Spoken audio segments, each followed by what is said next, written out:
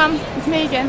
Um, I'm in Grand Central and I'm taking a video because I know you've been here probably many times and I'm sure it hasn't changed much, but I just want to show you.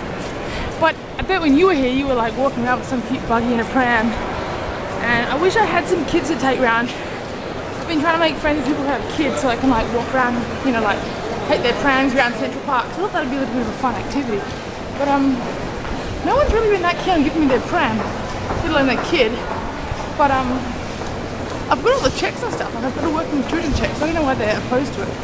But um, I guess people are scared of strangers here, which is alright. Whatever. I respect that. Anyway, I'm going.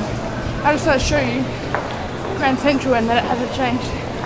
Okay, I love you. Bye.